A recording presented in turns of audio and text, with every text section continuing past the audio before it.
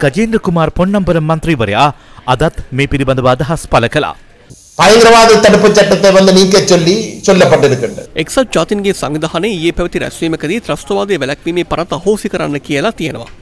ඉන්දියාවත් කියන්නේ දහතුන්වැනි සංශෝධනය ක්‍රියාත්ම කරලා පළාත් සභා ඡන්දයක් තියන්න කියලා. අද ශ්‍රී ලංකාව ආර්ථික වශයෙන් අසීරු තත්වයකට මුහුණ දීලා තියෙන අවස්ථාවේ ඉන් ගොඩ ඒමයි වැදගත් කියලා ආණ්ඩුව කියනවා. ජාතික ප්‍රශ්නයට විසඳුමක් ලෙස අපි අවුරුදු 36ක් තිස්සේ ප්‍රතික්ෂේප කරපු 13 වන සංශෝධනය තමයි දෙමළ ජනතාවගේ අවශ්‍යතාවය කියලා අද පෙන්වන්න හදනවා. මේකට හේතුව මොකක්ද?